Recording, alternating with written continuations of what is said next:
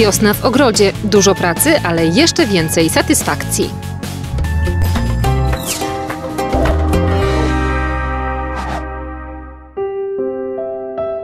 Reklama firmy ogrodniczej, ale kto wie, może niektóre miasta przyszłości będą wyglądać właśnie tak. Naukowcy twierdzą, że już po pięciu minutach przebywania wśród przyrody czujemy się lepiej. Działa to kojąco i uspokajająco na ludzki organizm, zmniejsza poziom stresu, łagodzi także objawy przemęczenia. Dlatego tak chętnie uprawiamy ogrody. Każdy z nas gdzieś tam podświadomie dąży do tego, żeby z naturą w jakikolwiek sposób, ale obcować, nie? Więc ta wiosna, te budzenie się po tej zimie, wychodzenie z, z, tego, e, z tego stanu uśpienia, to, e, to naprawdę chyba tak kojąco po prostu pozytywnie na nasze emocje, na nasze nerwy, na, e, na nasze dotlenienie mózgu. Zatem do pracy. Ale uwaga, choć na wiele pytań z dziedziny ogrodnictwa odpowiedzą nam internetowi eksperci, to kontakt na żywo ze specjalistami i praktykami daje najwięcej korzyści. Na tych targach, e, jak tutaj przechodziłam, są zarówno producenci sadzonek, e, rozsad, e, krzewów, są osoby zwiedzające, które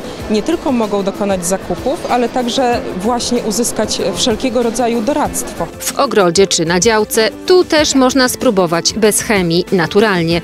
Podstawą upraw będzie oczywiście dobry kompost, ale przydadzą się i sprytne roślinne patenty. Na tym ogródku takim małym działkowym, no to problem stanowi zachwaszczenie, no i te podstawowe e, szkodniki, czyli pszyce i stonka w ziemniakach, bo to uprawiamy.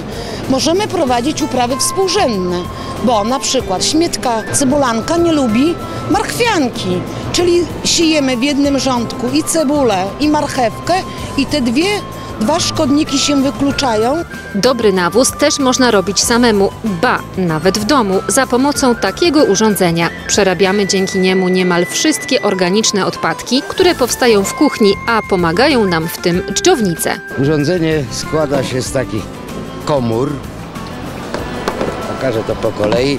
Pierwsza komora na dole ma kran, ponieważ w trakcie kompostowania powstaje płyn, który jest najlepszym nawozem. Tym płynem podlewamy nasze domowe roślinki. Najlepiej y, kompostować przy pomocy dżownic kalifornijskich. Modne są też zioła i to nie tylko mięta czy tymianek.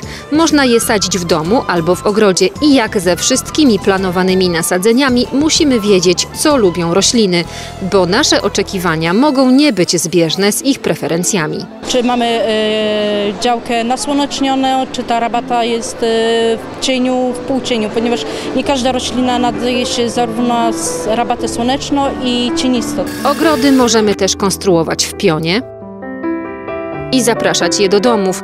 Można pracować opierając się na przykład o kalendarz księżycowy, który wyznacza rytmy naszych działań w zależności od fazy księżyca. Ważne, by ogrodnicze, zdrowe hobby dawało satysfakcję i było potwierdzeniem tezy, że zadowolenie zaczyna się w ogrodzie.